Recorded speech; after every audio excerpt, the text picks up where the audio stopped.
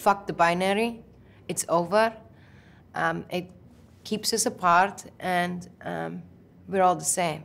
I didn't know I wasn't normal until I started getting older and I started to realize that there were boundaries, and those boundaries were the confines of gender. Sometimes you have a cause that touches you immediately, and sometimes you don't have one, and all of them are important, and you realize there's so many of them, and they're all so important, and sometimes it's hard to choose which one talks to you, and then, you know, by chance, uh, it picks you. I would really like for everyone to stay sensitive and open their eyes, not stay locked in, in their little world.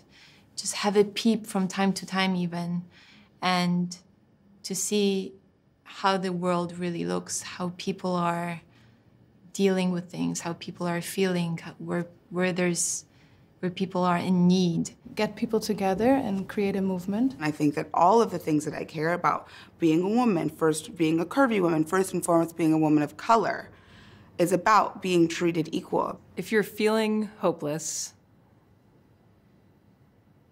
find your community, find company, because so much of what is designed to make you feel powerless to make you feel marginalized, um, obscures histories and people and work that are making change and have made change. Back in the day, you were you depended on having giving an interview or being in the paper, um, but now it's just it's up to you. Gender affects our lives in so many ways that we sometimes take for granted and don't even think about. I think that the bylines of feminism always come down to equality.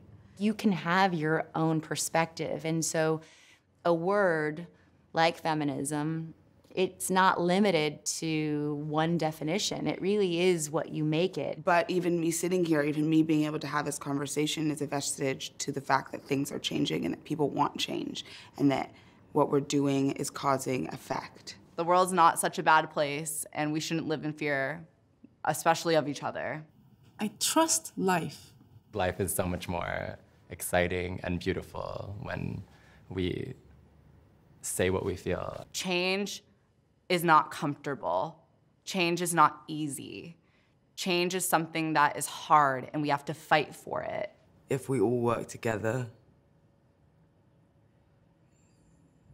if there's any one of you that has something to say that you're too scared to say no, that we're all here.